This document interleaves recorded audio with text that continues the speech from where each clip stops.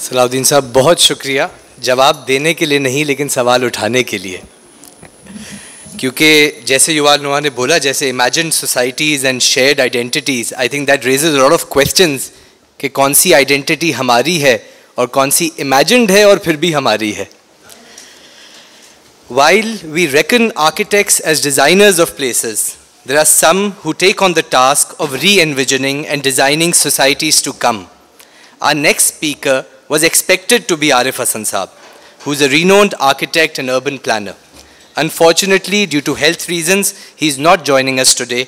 We wish him the best of health. Our expression, as powerful as it may be, is, is incomplete without a poet's magic of play with words. We are humbled to have amongst us a young poet from Umarkot, Kamlesh Kumar, whose choice of words for Indus will leave many speechless. Kamlesh, please join us.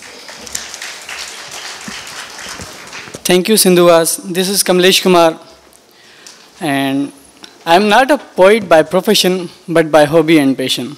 So written few lines for the people, for the loving people of Sindhu. Starting now.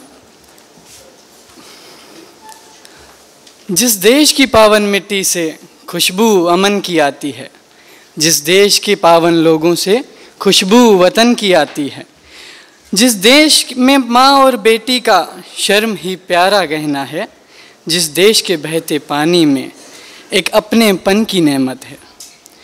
जिस देश के हर एक कण कण में राम और रहीम बसते हैं, जिस देश की हवा की खन खन में सूफियों और संतों की बरकत है।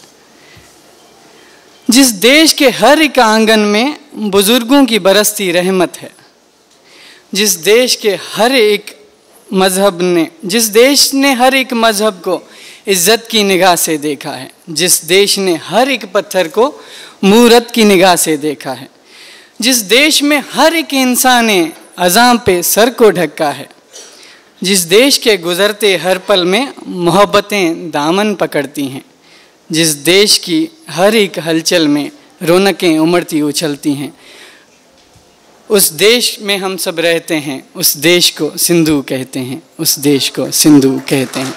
Thank you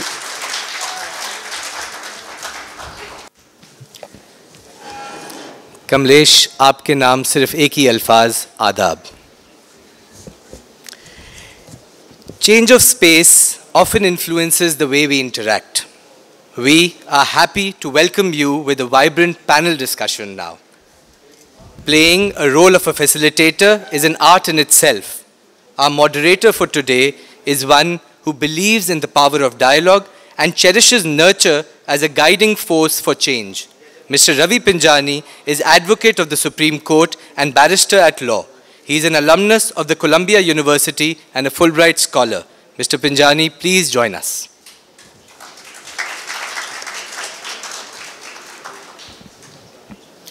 Our first panelist is the Dean, Faculty of Social Sciences at Zabist, Dr. Riaz Ahmed Sheikh. He is reckoned with several exceptional research papers, including Pakistani's military role in Asian context. Riaz Saab has also served as a managing editor of Asian Journal of Global Studies. We are pleased to welcome you today, Riaz Saab. Our second panelist inherits wealth of exposure to literature, intellectual space and culture of Sindh. Mr. Syed Zasha is a philanthropist and a social worker, ex-chairperson of GM Syed and Imdad Foundation and patron of Shaheda Society. Zasha, please join us on stage. While era of dictatorship demands obedience and silence, some have challenged this air of imprisonment, embracing against all odds power of individual and collective voice.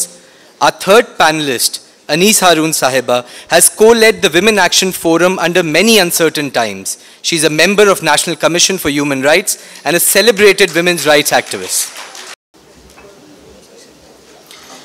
Our fourth panelist is a young social activist from a region often ignored in our narratives, Gilgit Baltistan. Mr. Noor Akbar is a teacher who loves questions and his students adore him for the same. We are pleased to have you today. There were two not contrary but uh, divergent on slightly views presented today before us. One, the जेको जो पहले पहले view पेश हुआ वो सिंधुवास की जो philosophy सामने आई बड़ी तफसीली तौर पे जगदीश आहूजा ने उस पर डेलिब्रेट किया और उस फ़लसफ़े की बुनियाद पे या उसके नज़रिए में सलाउद्दीन अहमद साहब ने कुछ सवाल पेश किए कि जो जगदीश आहूजा ने फ़लसफ़ा पेश किया, उसमें पहला मुद्दा तो ये था कि सिंधुवास की जो जो जो इंडस के लोग हैं, वो एक अलग आइडेंटिटी की और वो एक अलग शनाख्त के तौर पे हम ख़ुद को पहचान वो दे सकते हैं और देना भी चाहिए। और उस पहचान की बुनियाद पे हम यकजा हों और यकजा हो के आगे बढ़ें। इसके पस मंज़र में सलाहुद्दीन अहमद साहब ने एक सवाल उठाया कि जी, सिंध, सिंधी जो सिविलाइजेशन है, इंडस सिविलाइजेशन, वो फिर कहाँ से शुरू होकर कहाँ तक ख़त्म होती है? अगर आप अपनी आइडेंटिटी बनाते हैं तो उस आइडेंटिटी का एक कॉन्ट्रा भी है वो इन द सेंस के आइडेंटिटी आपको दूसरे से मुख्तलफ भी बनाती है, तभी वो आपकी आइडेंटिटी है। It's your identity as oppose to an other's identity so Jagdish Ahuja की फ़लसफ़े में देर इज़ ज़िक्र था इंडस सिविलाइजेशन का भी इंडियन एम्पायर का भी चाइनीज़ एम्पायर का भी, या सिविलाइजेशन का तो ये आइडेंटिटीज़ का एक फ़र्क बयान करता है।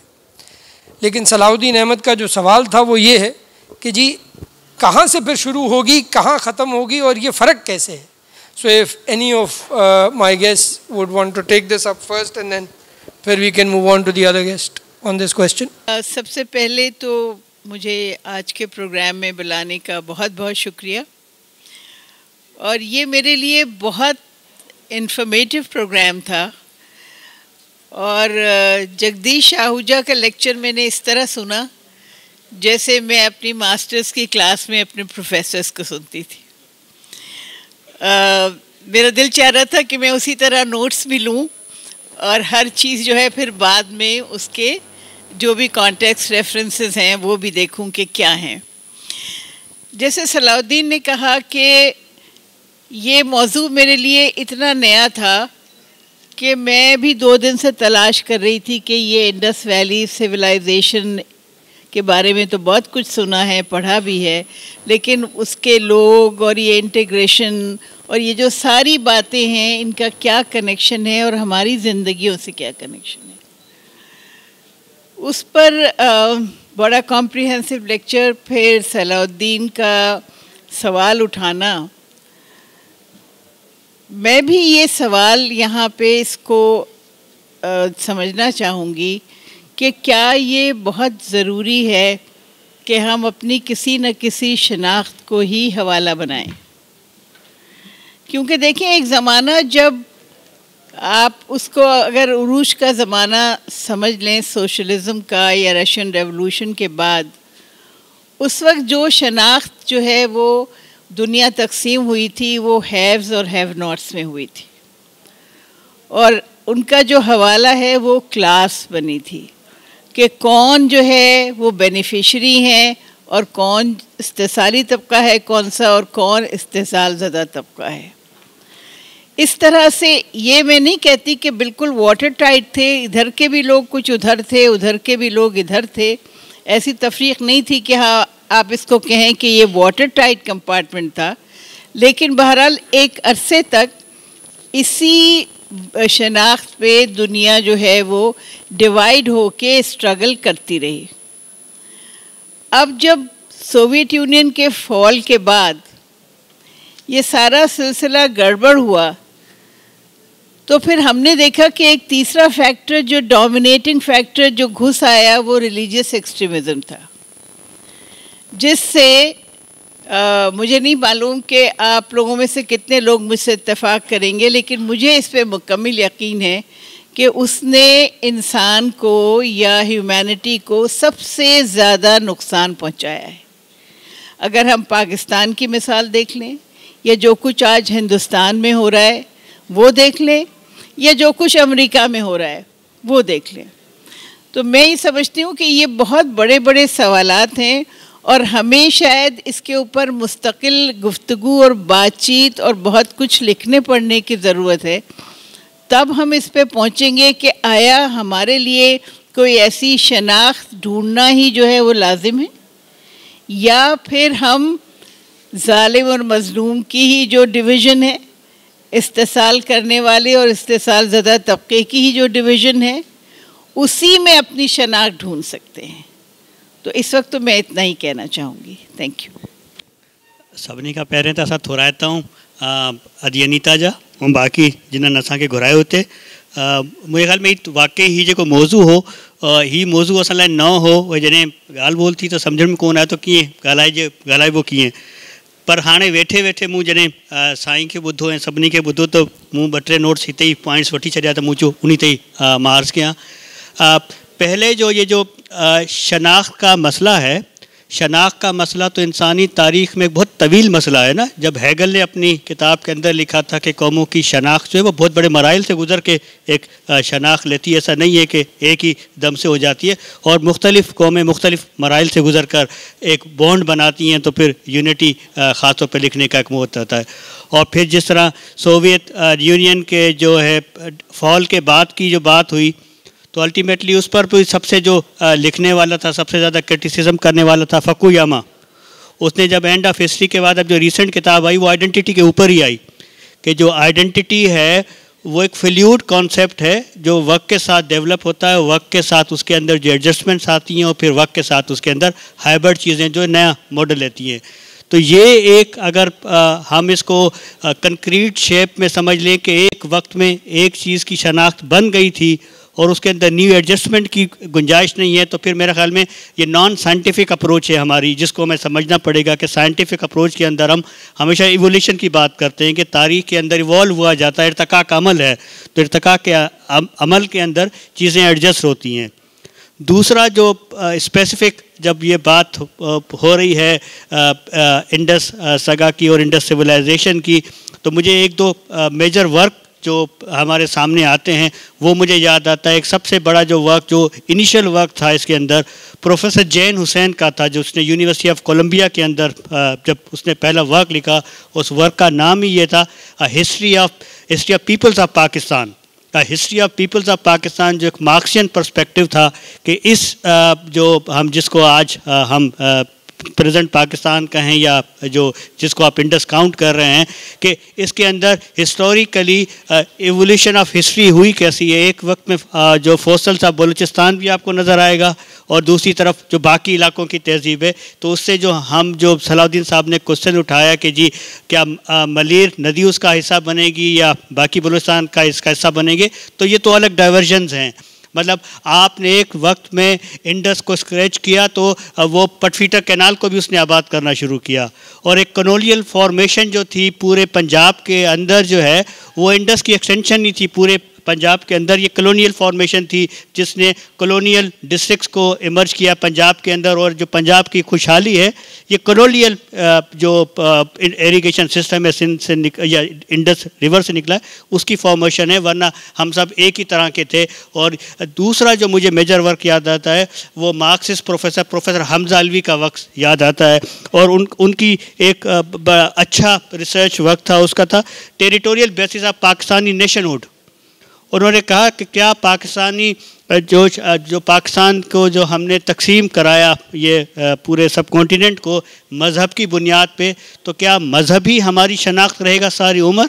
या हमें एक्चुअल जो है अपनी शनाख्त है उसको तलाश करना पड़ेगा? तो ये जो उनका वर्क था the territorial basis of Pakistani nationhood मेरे ख्याल में इसको रिविज़िट करने की ज़रूरत है, जो हमारे दोस्त ये जो काम कर रहे हैं उसको देखें। तो हंस आलवी साहब ने इसमें बहुत अच्छी डिबेट की, और उसने वो जो बेसिक जो साइंस जी एम सैद का नाइनटीन का जो जो वेलकम स्पीच थी फॉर द और जो जो दोस्त नाराज़ हों, जो रिपोर्ट करने आए हों, उनको भी पता होना चाहिए कि ये फोर्टी थ्री की जो जो जलसा है, वो सिर्फ़ जी एम का नाम सुन के आपके एंटीना नहीं खड़े होने चाहिए। देखना चाहिए कि वो ये वो जलसा था, जिसके अंदर एक्चुअली क़याम पाकिस्तान की बुनियाद डाली गई।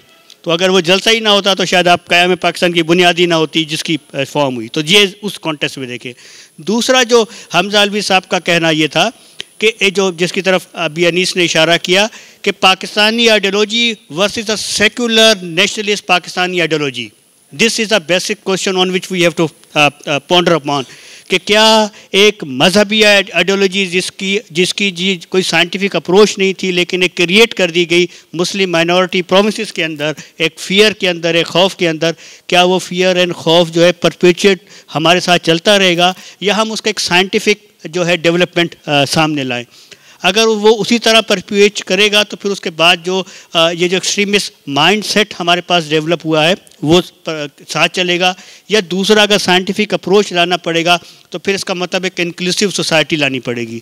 जब इंक्लूसिव सोसाइटी लानी पड़ेगी तो फिर आपको अपना रूट जो है वो सरेनाथ में भी ढूंढना पड़ेगा। फिर आपको हनलाज मंदिर में भी ढूंढना पड़ेगा। फिर आपको जो है वो बलुस्तान के जो इलाके हैं कच्छी के इलाके में क्या हमारे पास निकला था जो मुझे दौड़ से भी पुराना है? हाँ मेहरगढ़। और वहाँ से भी ढूंढना पड़ेगा तो उसकी कॉम्बिनेशन बन के सामने आएगी। तीसरा जो फैक्टर है वो है इकोनॉमिक बेसिस ऑफ़ कनेक्टिविटी क्योंकि हम जब मार्क्सिस्ट पर्सपेक्टिव से बात करते हैं, हम मटीरियस अप्रोच की बात करते हैं, आप जितने नारे लगा लें, उस वक्त तक इनवैलिड रहेंगे जब तक आपकी इकोनॉमिक कनेक्टिविटी नहीं होगी। इकोनॉमिक बेसिस ऑफ़ वर्क नहीं होगा। तो सिंधु ने इकोनॉमिक जो बेसिस ऑफ़ प्रोस्पेरिटी प्रोवाइड किया इस रीजन को, वही जो मैंने आपको अर्ज़ किया कि पूरे पंजाब के अंदर खुशहाली है तो वो कॉलोनियल इरा में बनने वाले कॉलोनियल डिस्ट्रिक्स हैं, जिसके नतीजे में पूरे पूरे चक बसाए गए। और वो चक जो है, वो नंबर से है, नाम से नहीं है। इसका मतलब है कि आपकी आइडेंटिटी काउंट नहीं करती थी, आपका इकोनॉमिक जो है बेनिफिट काउंट करता था। तो ये जहन में रखें। इसके बाद जो आखिरी पॉइंट ख़त्म करके मैं बात करना चाहूँगा कि दोस्त फिर बात कर लें कि इंडस सिविलाइजेशन का एक अर्बनाइज कल्चर जो है वो एक एक बहुत बड़ा कल्चर है जिसको आज आपको दोबारा डिस्कवर करना पड़ेगा, चाहे वो मोहनजो दड़ों से हो, चाहे टेक्शला से हो।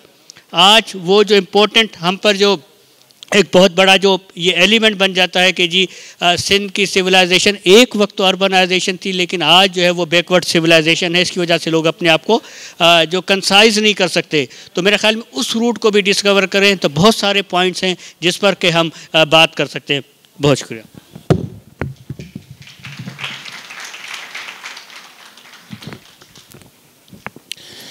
Uh, thank you very much for inviting me here and uh, thanks for Ahuja Saab and his family. हम when we are discussing about the Indus Valley civilization, तो हम एक चीज़ पे आ जाते हैं कि ये कोई नेशन है कोई लैंग्वेज है या कोई ख़त्ता है इस वजह से हमेशा डिस्टर्बेंस और वो एक डाउट हो जाता है Indus valley civilization is not a nation Indus valley civilization की जब हम बात करते हैं तो हम कहते हैं कि सिंधु नदी। सिंधु नदी जो चाइना, तिब्बत से निकल के, मानसरा से निकल के, कश्मीर कश्मीर से फिर गिलगित गिलगित से फिर पंजाब पंजाब से फिर सिंध के पी के हर जगह से आके सिंध में आके रखती है। वहाँ इंडस रिवर और उसके साथ जो उसकी ट्रिबिटरीज़ हैं, जो पाँच हमारी पंजाब की नदियाँ हैं जैलम चिनाब, रावी, सतलज, ब्यास। और वो जो कहा गया कि सरस्वती। सरस्वती में है तो डाउट लेकिन उसमें यही है, आजकल ये एक अगर और हाकड़ा जो है रिवर है, वो ही है। शायद उसमें, लेकिन वो अभी है कि रेन रेन पे चलती है, बारिशें होती हैं तो निकलती है तो नहीं। इसके अलावा काबुल भी हमें इंडस रिवर में आता है, कि काबुल की नदी भी आके जब इंडस में मिलती है तो उसके सराउंडिंग में भी जो हिस्टोरिकल चीज़ें होती हैं कि जो रिवर के साइड में जो कौन, जो जो लोग बसे वो ही इंडस सिविलाइजेशन का हिस्सा बने। तो इंडस सिविलाइजेशन में एक तो ये हुई कि इंडस रिवर के हिसाब से क्या हुआ। और दूसरा ये है कि पीरियड के हिसाब से क्या हुआ। तो हम थ्री पीरियड्स में उसको डिवाइड कर सकते हैं कि Harappa and Mohenjo Daro civilization so pre Harappa civilization early Harappa civilization and mature Harappa civilization pre Harappa civilization में सिविलाइजेशन में हम अभी जो उन्होंने बात की मेहरगढ़ आ गया। और उस पर दूसरे डाउट्स भी हैं हमारे पास, कि हमारे पास यहाँ नवाबशाह डिस्ट्रिक्ट में चाहूँ जो दड़ो है, वो भी अभी क्वेश्चन है कि वो उसमें है। मीरपुर ख़ास में काहूँ जो दड़ो है, ये भी प्री में आ जाते हैं। उसके बाद अर्ली हरापा में जो आते हैं, वो कोडिजी आ गया रहमान नगर रहमान नगर रहमानपुर आ गया और आमरी आमरी आ गया। अब वो जो बता के गए अपने कि रहमानपुर जो है, रहमानपुर वो दिल्ली के पास है तो हम उसको भी वो ले लेते हैं, लेकिन वो उस, और उसमें फिर मोन्जो दड़ो भी आ गया, वो उसमें अर्ली में भी आता है और मैच्योर स्टेज में भी आता है। तो प्री जो हम कहते हैं it's goes from seven thousand B C E mature जो आते हैं, जो हम मोन्जोदड़ो और इसमें आते हैं, वो thirty three to twenty six में आते हैं। फिर 26 से 1900 BCE में जो आते हैं, वो है मैच्योर और अर्ली जो है, वो 33 टू ट्वेंटी 2600 BCE में जो ये तीन पीरियड्स हैं, जिनमें डिफरेंट जो लोग थे, वो इंडस के सराउंडिंग में आके रहे और वो इंडस वो सिविलाइजेशन कहलाई गई। अब उनमें ये नहीं हो को, ये नहीं है कि लैंग्वेज कोई उस ज़माने भी उनकी एक थी या अभी भी लैंग्वेज एक है। यहाँ पर क्वेश्चन जो रखा गया है आहूजा साहब ने, वो है कि integration of Indus civilization so that is a question mark whether is integration it will be the integration of Indus civilization और नॉट क्योंकि Indus civilization is a fact हम उसको, को मानते हैं, सब मानेंगे और उसके साथ चलेंगे भी। लेकिन अब प्रेजेंट सिचुएशन में प्रेजेंट पाकिस्तान प्रेजेंट के चारों सूबों जो आ गए, उसमें काबुल का हिस्सा ऊपर आ गया, कुछ इंडिया का हिस्सा आ गया जो जाके उत्तर प्रदेश महाराष्ट्र इवन राजस्थान, गुजरात, कश्मीर इंडियन पंजाब, ये हिस्से भी इसी सिविलाइजेशन में आ जाते हैं। तो इसका इट डजेंट मीन के like it will be the integration in the future तो हम इससे थोड़ा सा अलग रखेंगे तो उसमें क्या होगा कि फिर पॉलिटिकल इशू नहीं होगा, ना कोई ऐसा कोई एथनिकल इशू इशू होगा। बाकी ये है कि हिस्टोरिकल परस्पेक्टिव के हिसाब से ये एक सिविलाइजेशन थी, रहेगी, उसमें सब आया। अब इसी को जो उन्होंने आहूजा साहब ने जो बात बढ़ाई है तो ये इसमें एक और अच्छी बात हो जाएगी कि ये मोहब्बत और भाईचारे की बात होगी, आइंदा चल के वो किसी मुल्क का भी हिस्सा हो, या हमारे सिंध का ऐसा हो, या पाकिस्तान का ऐसा हो, या पूरे इंडिया का ऐसा हो, वो एक इंडस वैली की सिविलाइजेशन की बात करके आगे हम बढ़ा सकते हैं बात को कि इंडस वैली सिविलाइजेशन है, उसमें नफ़रतें ख़त्म हो जाएँ ये ज़बानों और वो नेशनल इश्यूज़ जो हैं वो ख़त्म हो जाएँ और उसमें मोहब्बत अगर पैदा हो जाए तो ये अच्छी बात है, जो आउजा साहब ने भी कहा कि हम पंजाब को भी कहते हैं कि भाई वो भी हमारी, पंजाब को हम अलग सेपरेट नहीं करते, Punjab is was a part of the India civilization Balochistan जो है वो जिस तरह से अभी कई कई बात के भाई, कराची हम इसको इंडिया सिविलाइजेशन में लाएँगे या नहीं लाएँगे। तो वो एक बड़ा सा अजीब सी बात है कि you don't consider Karachi as a history Karachi तो अभी 200 साल भी नहीं है उसको बने हुए। तो इस तरह से बहुत से शहर हैं, पर अब कल इस्लामाबाद को भी हम कहेंगे कि वो उसको कहाँ करें। तो ये शहर जो बनते हैं, वो तो अभी मॉडर्न सिटीज़ रिवर के सराउंडिंग नहीं बनते, वो तो कहीं पर भी बन सकते हैं। ओल्डन टाइम में ये होता था कि रिवर के सराउंडिंग होते थे। ये पूरी सिविलाइजेशन जो है, इन्हीं जोग्राफिकली एरिया में वो इंडस सिविलाइजेशन बढ़ी रही, बढ़ती रही और अभी तक है। उसी एरिया में अभी जो भले नए कोयटा बन जाए, कराची बन जाए, इस्लामाबाद बन जाए या और कोई शहर बन जाए, लेकिन they are the all part of the Indus civilization thank you very much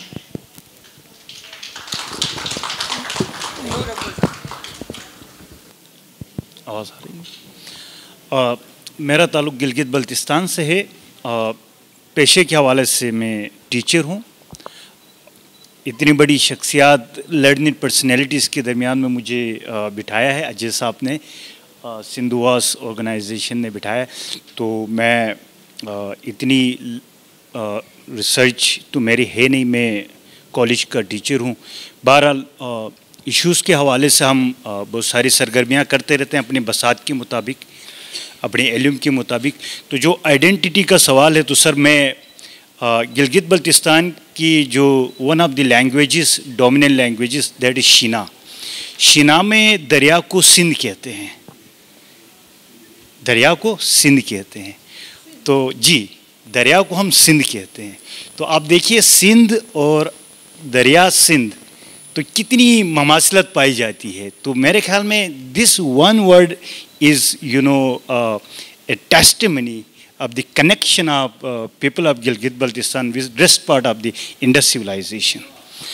तो मेरे ख्याल में वो दूसरी बात आइडेंटिटी की अगर हम बात करें तो इंडस वैली सिविलाइजेशन जो मैं बच्चों को पढ़ाता हूँ पाकिस्तान कल्चर में तो उससे पहले मेहरगढ़ सिविलाइजेशन थी कोट डिजी सिविलाइजेशन थी उससे पहले पत्थर के दौर की स्वान सिविलाइजेशन तो हम देखते कि over the time of you know और the course of time civilization emerge हो गई, फिर उनका फॉल हुआ।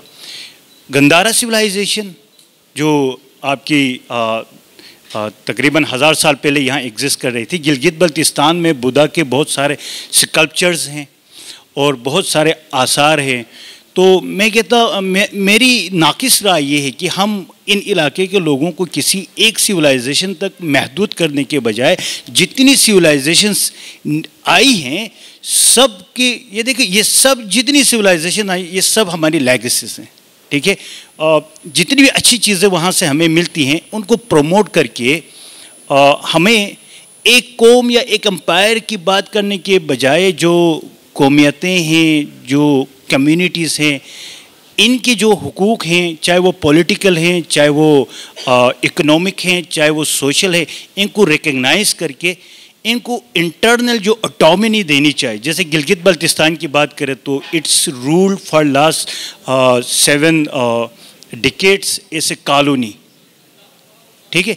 तो मेरे ख्याल में इनकी राइट्स को रिकग्नाइज किया जाए एक्नॉलेज किया जाए और उसके ऊपर ये जितनी भी अच्छी चीज़ें आवजा साहब कह रहे हैं, यहाँ पे हमारे जितने भी रिस्पेक्टेड स्कॉलर्स हैं लर्निंग पर्सनैलिटीज़ हैं तो उसके ऊपर एक चीज़ बिल्ड की जा सकती है, लोगों को इंटग्रेट किया जा सकता है। लेकिन उसमें ये बात हो कि क्या जो भी कम्यूनिटीज़ हैं, उनके हकूक़ जो हैं, उनका तहफ़ ज़रूरी है। तो this is what I would like to thank you Noor Akbar sahab. और इसी बात को अगर हम आगे बढ़ाएँ मूव ऑन करें आइडेंटिटी के टॉपिक से इंटीग्रेशन के मौजू पे। जैसे कि नूर अकबर साहब ने कहा कि इंटीग्रेशन के लिए बड़ा ज़रूरी है कि हम हर जो कंपोनेंट है हमारी सोसाइटी का, उसको हम बराबर के हकूक़ दें और उसमें हम उनको बराबर की शिरकत दें। एंड ये गिलगित बल्तिस्तान के लोगों का एक डिमांड रहा है कि जी हमें प्रोविंशियल स्टेटस दिया जाए and that is a political debate perhaps for another day another time लेकिन इंटीग्रेशन के हवाले से क्या uh, आप हमें इस बात पे आगाह कर सकेंगे या इसमें कि social activism in the sense of awareness of rights या फलाई कामों के ज़रिए किस तरीके से इंटीग्रेशन का एलिमेंट में बढ़ावा दिया जा सकता है? देखिए, इसमें जो मैं मिसाल देना चाहूँगी, वो पाकिस्तान में वेमेंस मूवमेंट की है कि किस तरह से औरतों ने अपनी सारी क्रिटिसिज्म भी बर्दाश्त करके कि ये सोसाइटी को डिवाइड करने की साजिश है, ये लेफ़्ट की तरफ़ से भी क्रिटिसिज्म आया राइट तो खैर था ही हमारे सर पे। लेकिन उन्होंने अपनी एक आइडेंटिटी को इस हवाले से कि हमारा डबल एक्सप्लाइटेशन है। एक तो हमारा जो भी एक्सप्लाइटेशन है इकोनॉमिक या जो भी सबका होता है क्लास का, वो अपनी जगह है, लेकिन एक हमारी सेक्स के हवाले से भी हमें डिस्क्रिमिनेट किया जाता है कि ये औरतें हैं। और ख़ास तौर पे अगर उसमें जब रिलीजियस पर्सपेक्टिव आ जाता है तो उसमें जो है, वो पेट्रियाकल जितने भी इंस्टीट्यूशंस होते हैं इंक्लूडिंग रिलीजन और स्टेट वो सब खातन पे हावी हो जाते हैं। तो ये लार्जर पिक्चर में ये सब कुछ रखते हुए कि ये एक पॉलिटिकल स्ट्रगल है, इसकी लिंकेजेस आपस में क्या हैं इकोनॉमी से क्या है पॉलिटिक्स से क्या है, हमने सोचा कि ख़वातीन को भी अपना एक इतिहाद बनाने की ज़रूरत है। उनको हम सोशली जो है वो मोबिलाइज़ करें कि आप भी एज एन एंटिटी जो आपके ऊपर जुल्म होता है जब तक आप उसके ख़िलाफ़ आवाज़ नहीं उठाएँगी, कोई आपकी बात नहीं सुनेगा कि जिस पे जुल्म होता है। तो मैं इसमें, इसकी इब्तदा तो शायद बहुत दिन पहले से हो गई थी, जब आप देखते हैं हिंदुस्तान में एजुकेशन की बात हुई थी और एक तहरीक चली थी कि लड़कियों को भी पढ़ना चाहिए, उसमें राजा राम मोहन रॉय, उनका नाम भी आता है और खैर सर सैद ने तो ये कहा था कि पहले मर्दों को पढ़ा दो फिर उसके बाद ख़वान को पढ़ाना। आ, ये मेरा एक रिजेंटमेंट है सर सैद के लिए। उनकी उनकी रिस्पेक्ट अपनी जगह। लेकिन ये है और फिर वो सारा खिलाफत मूवमेंट मौलाना मोहम्मद अली शौकत अली और बी अम्मा का रोल में एक नज़र आता है कि एक खातून जो इंडिपेंडेंटली आके असर्ट करती हैं एज अ वुमन और राइट्स की बात करती हैं। ये सारा सिलसिला चला रहा था, फिर मुस्लिम लीग बनी, फिर कायद अज़म ये सारा कायद अज़म ने भी कहा कि अपनी ख़वातीन को साथ लेके चलें, बेगम राना लियाकत अली रही मोहतरमा फातमा जरा रही, ये सारा रहा। लेकिन उसके बाद हम देखते हैं कि एक बहुत रेडिकल चेंज आया जब हमने अपने ज़माने में अपनी जो वर्किंग वेमेन थे, जो घर में भी ख़वातीन थी या जिनका कोई सियासी सूझबूझ थी, जिनका हवाला जो है सोशलिज़म और लेफ़्ट भी बनता था, हमने वेमेंस एक्शन फोरम बनाई। जब हमने ज़ियाउल हक के जो इस्लामिक कवानीन आए और जिसको डायरेक्ट जिसने हिट किया एक तो माइनॉरिटीज़ को मुस्लिम आ, के अलावा जो दूसरे पॉपुलेशन थी उनको और औरतों को। तो उस वक्त ये जो सारी स्ट्रगल वेमेंस एक्शन फोरम की शुरू हुई तो हम ये देखते हैं कि वेमेंस इशू को मेन स्ट्रीम में लाने के लिए एक बड़े धारे में लाने के लिए ये जो हमारी सोशल मोबिलाइजेशन जो एक अलग ही शनाख्त से शुरू हुई थी। बहसीत औरत एक शनाख्त से शुरू हुई थी। उसने किस तरह इसको आगे तक पहुँचा के मेन स्ट्रीम में किया कि फिर हम देखते हैं कि जब भी इलेक्शंस हुए तो जितनी सियासी जमातें थीं, वो कोई ना कोई एजेंडा ख़वान के लिए रखने पे मजबूर हो गई। ऐसा पहले नहीं होता था कि एक वेमेन स्पेसिफिक एजेंडा जो है, वो हर पॉलिटिकल पार्टी दे, लेकिन बाद में वो देने लगी।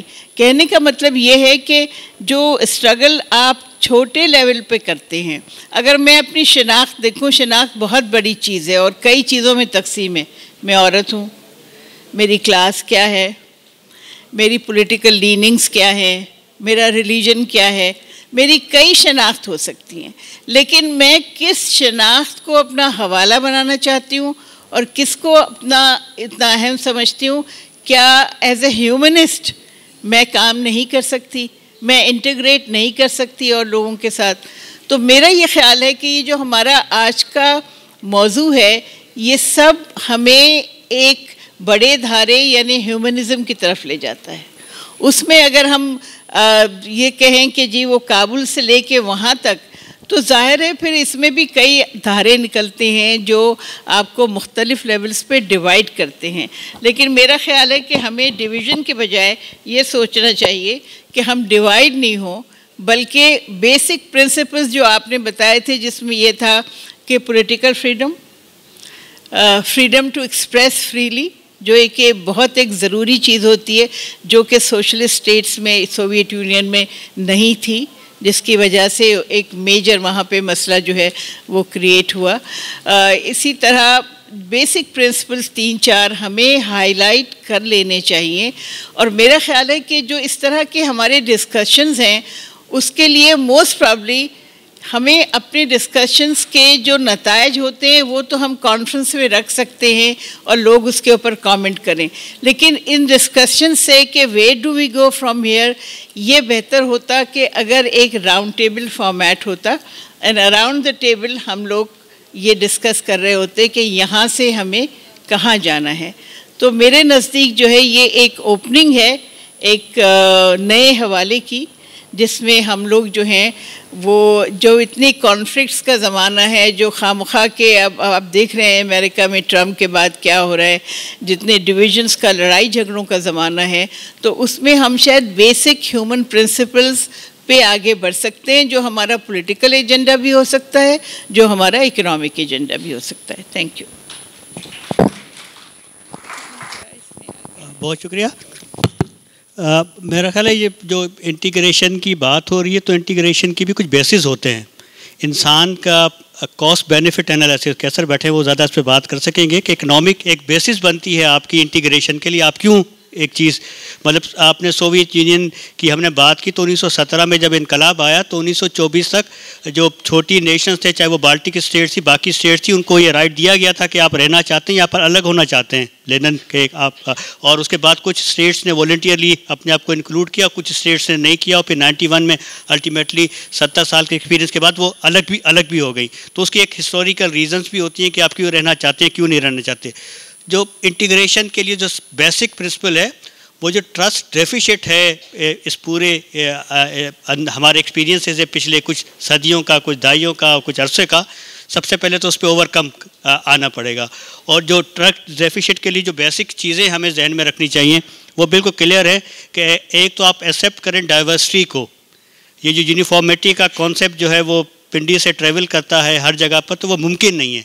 आपकी मज़हब की डाइवर्सिटी है आपकी जो इथनिसिटी की डाइवर्सिटी है, आपकी नेशनहुड की डाइवर्सिटी है, आपकी टेरिटोरियल डाइवर्सिटी है तो आपको वो डाइवर्सिटी जब तक आप एक्सेप्ट नहीं करेंगे, कोई इंटीग्रेशन का कॉन्सेप्ट पॉसिबल नहीं।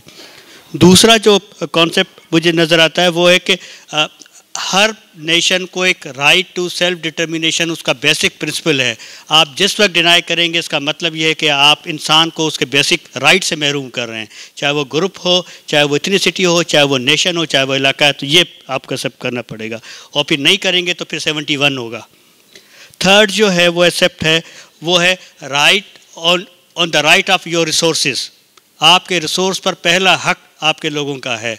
वो नहीं है कि 52 से आप जो है सुई से निकाल के जो है पंजाब का कैपिटल तो डेवलप करें। पंजाब के अंदर तो खुशहाली आए, लेकिन बलूचिस्तान का आदमी वही चप्पल न पहनने से महरूम रहे तो ये आपको एक्सेप्ट करना पड़ेगा। एक और जो कॉन्सेप्ट में आता है, वो डिसीशन मेकिंग के अंदर है कि जब आप फैसला साजी का अमल करते हैं तो फैसला साजी के अंदर हर एक का उतना ही हक है, जितना कि चाहे वो बड़ी कौम है, चाहे वो छोटी कौम है। इसीलिए हमें नज़र आता है, हम कहते हैं कि जो सेनेट ऑफ़ पाकिस्तान है, उसकी मंजूरी के बगैर कोई कानून पास नहीं होना चाहिए और पूरे जो जितनी आइडेंटिटीज़ हैं, वो जब तक उस पर एग्री नहीं होती, उस पर तक नहीं मानना चाहिए।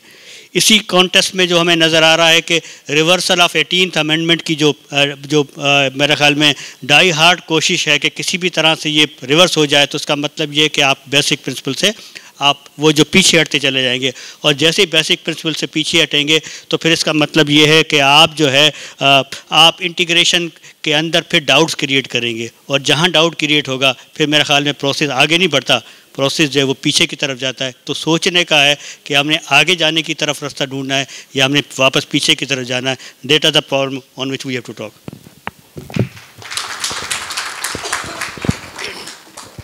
thank you लेकिन जहाँ तक ये फ़लसफ़ा जो आज आपके सामने पेश किया गया, वो तो उसका बेसिक ऑब्जेक्टिव ही यही है कि जो सिंधी नेशनलिज्म या Sindhi identity as oppose to Punjabi identity as oppose to Pathan identity वो उस आइडेंटिटीज़ को एक एक सिमत में या एक उनकी डिविजन्स को डिफ्यूज़ करने के लिए ताकि एक अलग आपके सामने एक आइडेंटिटी, अलग तो नहीं, खैर, एक सुपरा आइडेंटिटी पेश की गई है कि जी हम सब जो हैं वो इंडस के वासी हैं और क्योंकि हम इंडस के वासी हैं तो that is the basis of commonality जिस पे हमें इंटीग्रेशन को एज एन आइडियोलॉजिकल बेसिस अगर हम सामने लेके आएँ तो बाकी सब इश्यूज़ जो हैं वो बैठ के बात करने से रिजॉल्व हो सकते हैं। अगर आप एक को दूसरे से फ़र्क समझेंगे, जहाँ पे आप ये कहेंगे कि जी, मेरी आइडेंटिटी सिंधी है, उसकी आइडेंटिटी पंजाब है तो सिंध के हकूक़ ये हैं और पंजाब के हकूक़ वो हैं, या बलोचों के नहीं हैं, और पठानों के नहीं हैं, या गिलगित को अलग हम मानते हैं सिंधु से तो फिर ये मसाइल सिर्फ़ बढ़ेंगे, कम नहीं होंगे। तो जो फ़लसफ़ा पेश हुआ था, उस फ़लसफ़े का जो मैं समझाऊँ, एक ऑब्जेक्टिव तो ये है कि जी the basis of coming together and talking in with an idea कि all of us are one common persons जब ये कॉमन थीम आ जाएगी तो फिर मसाइल तो हमें नज़र आ रहे हैं। उनके हल भी नज़र आना शुरू हो जाएँगे। क्या ख्याल है आपका इस बारे में? थैंक यू इंटीग्रेशन और डिसइंटीग्रेशन का प्रोसेस तो शुरू से आखिर तक चलता रहा है और चलता रहेगा। इंडस वैली सिविलाइजेशन की जब बात करते हैं हम तो ये एक अच्छा अच्छी बात है कि आपने स्टार्ट किया है यहाँ से कि हम इंडस वैली सिविलाइजेशन को पहले मान के उसको ओनरशिप दें। कि कम अज़ कम हम इंडस वैली को जो जो इंडस वैली सिविलाइजेशन में जो पार्ट्स आते हैं, वो सारे ओनरशिप लें। कोई ये ना हो कि सर हम सिंध के लोग हैं तो यहाँ सिंध में बैठे हम इसकी ओनरशिप लेंगे, सिर्फ़ हम ही इसके ओनर हैं और हम ही इसके रूलर हैं। बल्कि जो बैठा हुआ है, मेहरगढ़ में, वो भी उसकी ओनरशिप ले, और जो बैठा हुआ है चनाब पे, वो भी इसकी ओनरशिप ले। जो बैठा है काबिल पे, वो भी इसकी ओनरशिप ले। जो बैठा हुआ है राजस्थान में और गुजरात में, वो भी इसकी ओनरशिप ले। तो उसकी ओनरशिप की बाद ही, ये बात होगी कि भाई, हम एक इंडस वैली सिविलाइजेशन का हिस्सा हैं। और उसके बाद डायलॉग होगा और उसके बाद आगे बात बढ़ती जाएगी और उसमें प्यार, मोहब्बत और ऐसी चीज़ें होंगी। बाकी उसमें नेशनल इशू जो सर ने बताया कि भाई इकनॉमिकल जो होते प्रॉब्लम होते हैं, वो ही सबसे मेन मेन बात है कि इकनॉमिकल इंटरेस्ट क्या है। तो ये डेफिनेटली आजकल के दौर में इकनॉमिकल इंटरेस्ट के बगैर इंटीग्रेशन बहुत ही मुश्किल है। और ये तो नेचुरल सी बात है। और जब हम सोवियत सोवियत यूनियन की बात करते हैं, कि भाई सोवियत यूनियन आया और उसके बाद वो कोलैप्स हो गया और वो उतना सर्वाइव नहीं कर सका तो मेरी इस पर थोड़ी सी रिजर्वेशन ये हैं कि सोवियत यूनियन हमें कार्ल मार्क्स की थ्योरी पे हम सोवियत यूनियन में एक इनकलाब तो आया। लेकिन कार्ल मार्क्स यूके में बैठे हुए थे, वहाँ पर तो कोई इनकलाब नहीं आया। जर्मनी में कोई इनकलाब नहीं आया। इनकलाब आया तो सिर्फ़ रशिया में आया। तो इकनॉमिकल प्रॉब्लम भी बड़े होते हैं कि उस ज़माने में जब हम बात करते हैं तो सेवनटीन सेंचुरी में इंडिया की इकनॉमिक्स कैसर बंगाली साहब बैठे हैं, उनको ज़्यादा पता होगा, लेकिन हमें जो जितनी स्टूडेंट एज ए स्टूडेंट पता है कि इंडियन इकनॉमी 35 परसेंट वर्ल्ड की इकनॉमी इंडियन इकनॉमी थी। उसके साथ चाइना की इकनॉमी फाइट करती थी, कभी चाइना कभी इंडिया और फिर उसके बाद खिलाफत की इकनॉमी थी वही यही आपस में चलती रहती थी almost like a thousand years उसके बाद जब सोवियत इनकलाब आया तो उसके बाद सारी इकनॉमीज़ ख़त्म हो गई और ब्रिटिश इकनॉमी आ गई। तो ये पॉलिटिकल चीज़ें होती रहती हैं जिसमें वो सारी चीज़ें आई।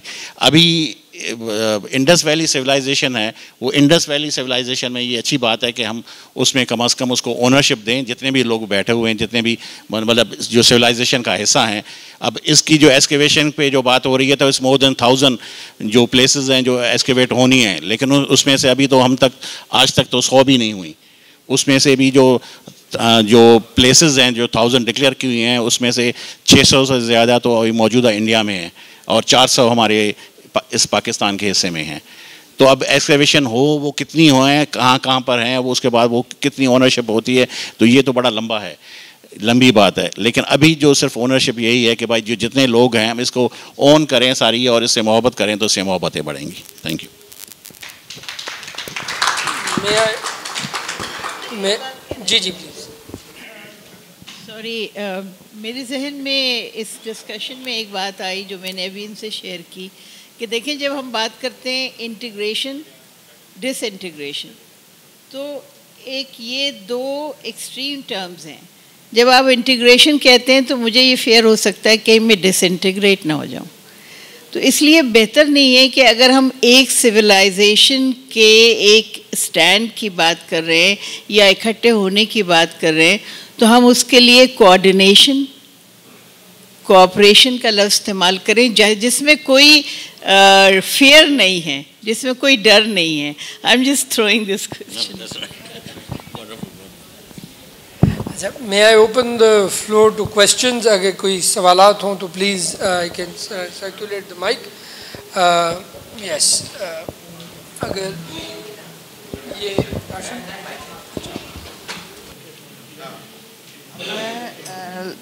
लेडी हनीस हारून से एक सवाल पूछना चाहता हूँ। अभी इन्होंने फरमाया कि कैपिटलिज्म कम्युनिज्म और बहुत सारे इज़म्स चले। उसके बाद जब रिलीजसिज्म आया तो ख़वातीन को इस्तेसाल का निशाना बनाया गया और उन्होंने बाकायदा उसको भुगता है। तो अब मैं आपसे 200 टाइम्स एग्री करती हूँ कि ख़वातीन ने मज़हब को बहुत ज़्यादा भुगता है। तो अब इससे रेमेडीज़ क्या हैं?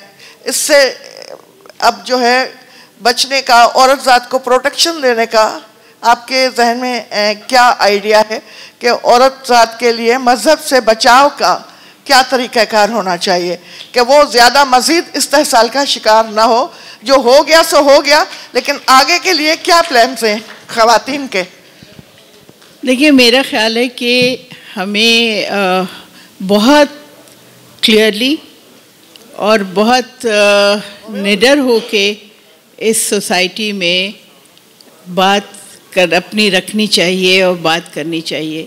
इस वक्त जितने फोरम्स हैं, जो पब्लिक फोरम्स हैं, उसमें मेरा ख्याल है एक ह्यूमन राइट्स कमीशन और एक वेमेंस एक्शन फोरम ये दो फोरम हैं जो ये कहते हैं कि we believe in a democratic secular state जो कहते हैं कि हम समझते हैं कि मज़हब जो है, वो आपका ज़ाती हवाला है उसको सियासत में नहीं आना चाहिए। तो ये एक सोच है जो हमें डेवलप करने की ज़रूरत है कि इंसान जो हम कहते हैं ना कि हम जो डिविजन्स करते हैं वो हम वर्टिकल करेंगे कि हॉरिजॉन्टल करेंगे। आप इस्तेसाल ज़्यादा तबके को एक तरफ़ रखेंगे या इस्तेसाल करने वालों को भी इसमें शामिल करेंगे। तो जहाँ तक हमारी सोच है, हम ये समझते हैं कि एक डेमोक्रेटिक सेकुलर स्टेट ही आपके जो राइट्स हैं, आपकी जो बेसिक फ्रीडम्स हैं, उसको गारंटी कर सकती हैं। उसमें ये मतलब नहीं है कि पेट्रियाकल अंडरपिनिंग्स जो हैं, वो मुश्किल से होगी नहीं होंगी। इसलिए हम कहते हैं कि डेमोक्रेसी जो है ना, वो सेनेट और नेशनल असम्बली में नहीं शुरू होती। डेमोक्रेसी तो आपके घर में शुरू होती है। आपके घर से शुरू होना चाहिए। वहाँ पे डिसीज़न मेकर कौन है? जो इम्पोर्टेंट डिसीज़न हैं, वो कौन लेता है? सब आपका हस्बैंड लेता है या आप दोनों मिलके लेते हैं? या आप उसमें जब बच्चे बड़े हो जाते हैं, कुछ शूर हो जाता है उन्हें, आप उनको भी इसमें कुछ हिस्सा देते हैं। इसलिए जो हम डेमोक्रेटिक प्रिंसिपल्स की बात करते हैं, वो हम कहते हैं कि वो घर से शुरू होना चाहिए। और ये अगर हम सब, जितने लोग इसको एक्सेप्ट करें और प्रैक्टिस करना चाहें, उसमें जो है एक सेल्फ रिस्पेक्ट की भी बात है उसमें दूसरों की रिस्पेक्ट की भी बात है। आप दूसरों की भी इज़्ज़त करें जिस तरह आप चाहते हैं कि आपकी अपनी इज़्ज़त की जाए। आप दूसरों के राइट्स का भी एहतराम करें जिस तरह आप चाहते हैं कि आपके राइट्स को वो एक्सेप्ट करें। तो ये सारा एक म्यूचुअल ह्यूमन राइट्स एक्सेप्टेंस का गेम है जो मेरा ख्याल है अभी तो हमें नज़र आता है कि ये बहुत कोई आ, इस तरह की बात है यूटोपिया है नहीं हो सकता लेकिन मेरा ख्याल है कि अगर आप देखें तो शुरू से लेके आखिर तक और जब तक आ, दुनिया रहेगी ये स्ट्रगल जो है आ, वो चलती रहेगी जिसमें हम एक बेहतर सोसाइटी और बेहतर दुनिया की और एक बेहतर निज़ाम की बात करते रहेंगे। थैंक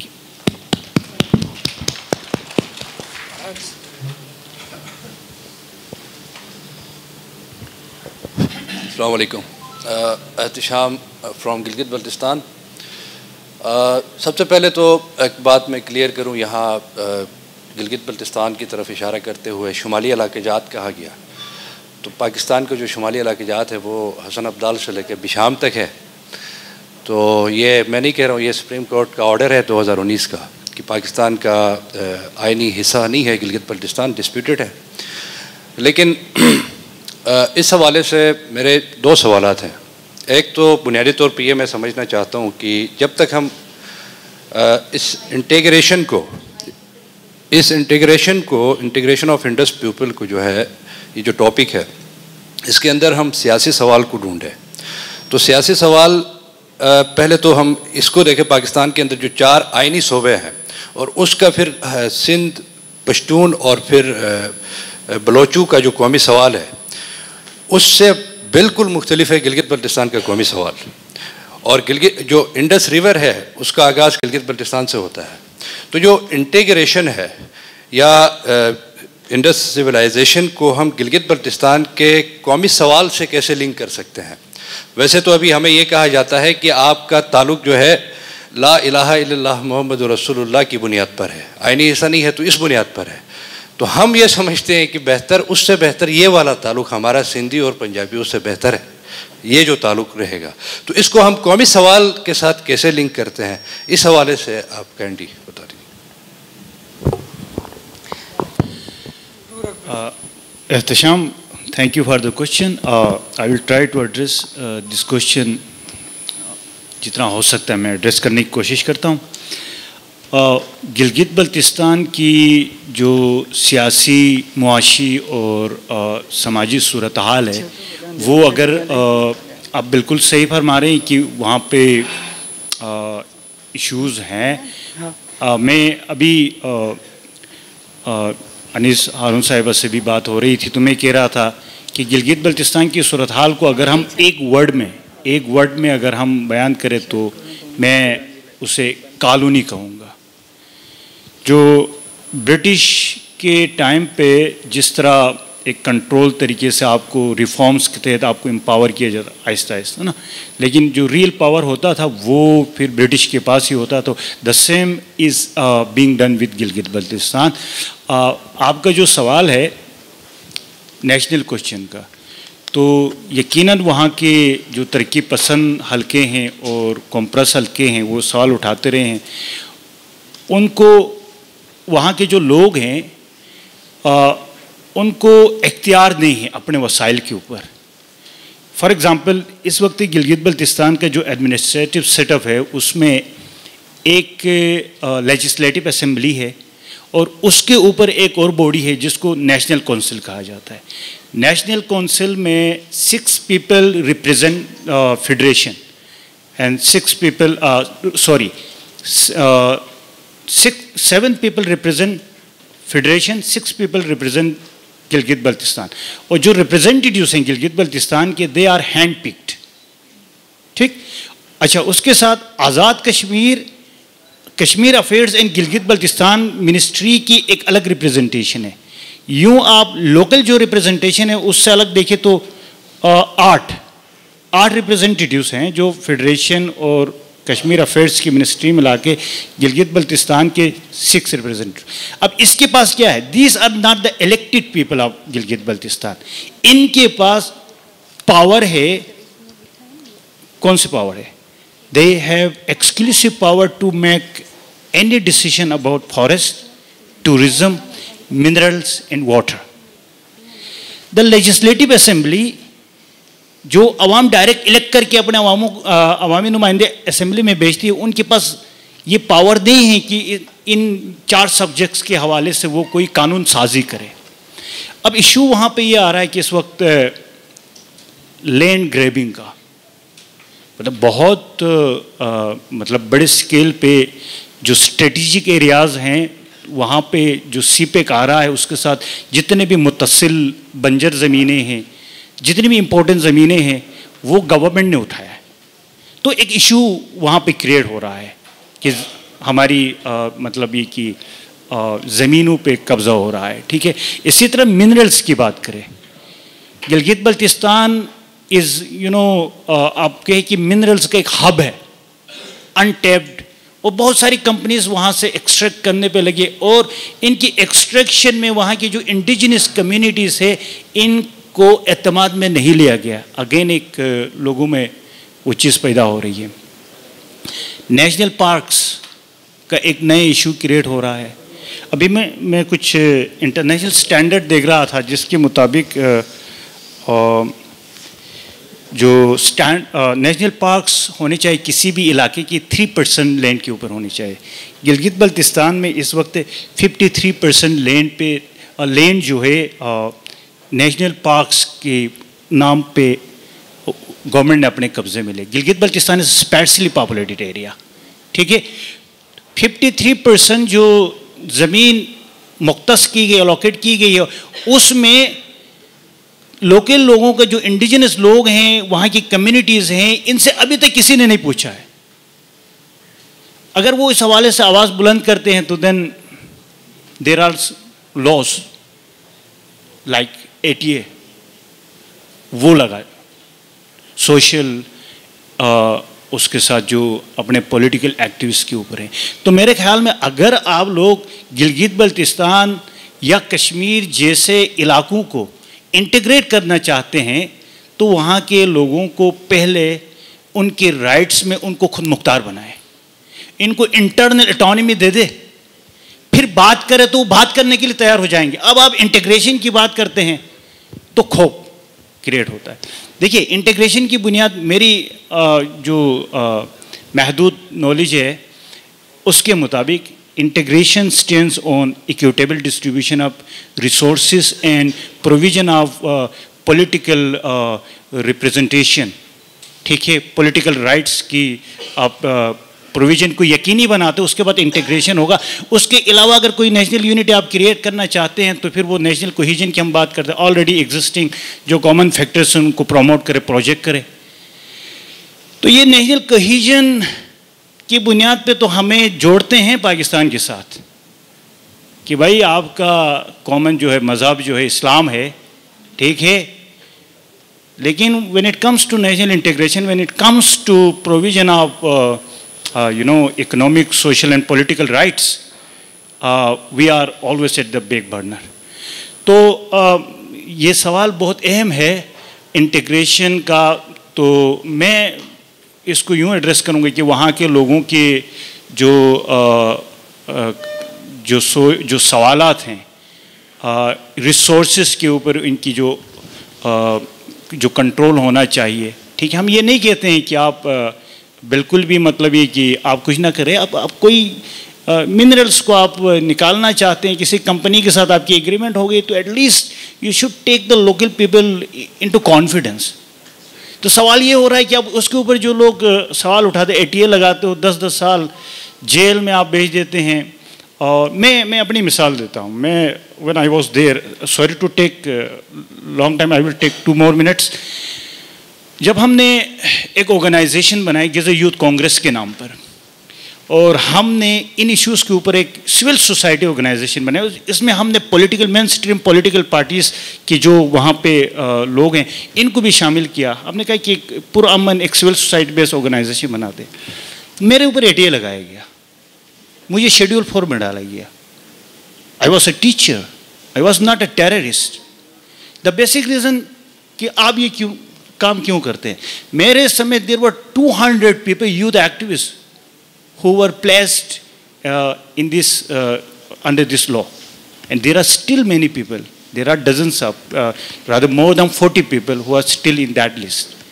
तो फिर हमारी मोबिलिटी कि हम अपने घरों से बाहर नहीं निकलते हम शहर नहीं आ सकते हैं जो इकोनॉमिक सोशल साइकोलॉजिकल प्रॉब्लम से वहाँ पर लोग फेस कर रहे हैं तो इस सूरत हाल में अगर गिलगित बल्चिस्तान जैसे लोगों को आप इंटीग्रेशन की तरफ़ लेके आना चाहते हैं तो अगेन वही बात मैं रिपीट करूँगा कि वहाँ के लोगों को सुने वहाँ के इश्यूज़ को समझे वहाँ के लोगों को आ, आप उनके इश्यूज़ को सुनने के बाद फिर उनसे बात करेंगे तो शायद कोई स्पेस बन सकता है। अदरवाइज़ रिएक्शन ही रिएक्शन है thank you may I open the floor to the last question and then we will invite our subsequent speakers. Um, a gentleman there. अगर आप खड़े हो जाएँ और अपना सवाल कर लें। थैंक यू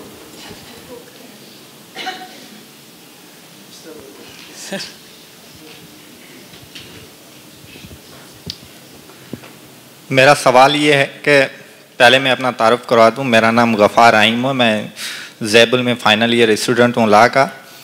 तो इस वक्त अगरचे हम करंट सिचुएशन की बात करें इससाली निज़ाम है तो आप इसका हल इस निज़ाम में रहते हुए चाहते हो, या कोई और निज़ाम, इसका हल है वो निज़ाम कौन सा है, जबकि आपने ये बात राउजा साहब ने कर दी कि सोशलिज़म या कम्युनिज़म जो है, इस वक्त हम इस सियासत के अंदर नहीं ला सकते। और दूसरी बात यह है कि आप जो है, लोगों को कैसे आप, अपनी तरफ़ कनेक्ट करोगे जबकि एक, आमिर खान की एक रिपोर्ट है, जिसने तहरीक चलाई थी, भूख मिटाओ तहरीक। उसके मुताबिक पाकिस्तान के अंदर 25 परसेंटेज जो है, इस वक्त गुर्बत है। और बाकी आज़ाद ज़राए के मुताबिक 39 है, और कोविड के आने के बाद ये बहुत बढ़ चुका है। तो जिसके पास खाने के लिए कुछ नहीं होगा, वो आपकी बात कैसे सुनेगा, आप उनसे कैसे कनेक्ट करोगे? जबकि जो है, इस वक्त हम देखते हैं कि कोई कौमी मुफाद नहीं है। कौमी मुफाद अगरचे यहाँ एग्जिस्ट करता होता तो हुक्मरान तबका जो है, वही हमारे मतलब अगरचे मैं सिंधी हूँ तो सिंध के जो रिसोर्सेज है, वो बेचने वाला सिंधी है।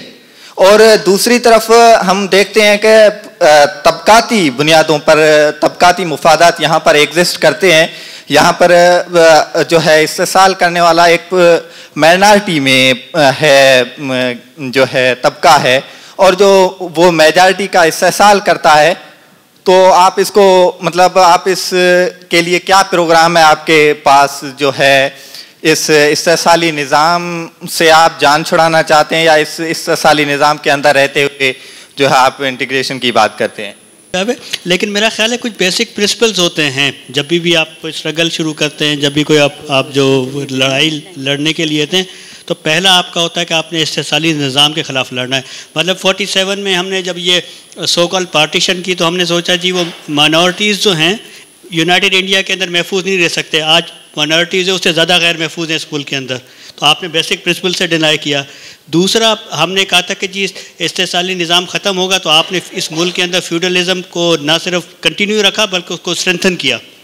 और आज जो है वो एक आ, एक जो तीस चालीस साल तीन सितारे लगा के जनरल बन जाता है तो उसको आप सौ सौ एकड़ ज़मीन भी दे देते हैं। इसका मतलब आप फ्यूडलिज्म को स्ट्रेंथन करते हैं। आप जब इस किस्म की चीज़ें करते हैं तो अल्टीमेटली आप जो है वो डिप, डिप, डिप्राइव क्लासेस का साइज़ बढ़ाते हैं। आपने 25 बोला मेरा ख्याल कैसर बताएगा कम से कम 40 फ़ीसद लोग हैं जो बिलो द पावर्टी लाइन हो चुके हैं इस वक्त बल्कि ज़्यादा ही होंगे मेरे ख्याल में। पच्चीस तो आप बड़ी ऐसी खुशहाल खबर सुना रहे हैं कि मैं छत से जाके लग जाऊँ मेरे ख्याल में चालीस से ज़्यादा हैं। और ये बढ़ रहा है। और इसी तरह सिचुएशन रही आप एक वक्त में जब इस वक्त लोग जो है, आपके पास कोविड की छः डॉलर वाली वैक्सीन लेने की तो तोफीक नहीं है। लेकिन पता नहीं एंटी कॉन्टीनेंटल मिज़ाइल चलाने के लिए आपके पास पैसे हैं तो भाई ऐसे ऐसे ऐसे से इस्तेसाल बढ़ेगा। इस्तेसाल के लिए आपको देखना पड़ेगा कि आपकी साइज़ क्या है आपकी रिक्वायरमेंट क्या है उसके तहत आपको डिज़ाइन करना पड़ेगा। हमें जो जॉइंट स्ट्रगल करनी पड़ेगी वो बताना पड़ेगा कि स्टेट की प्रायोरिटीज़ क्या हैं।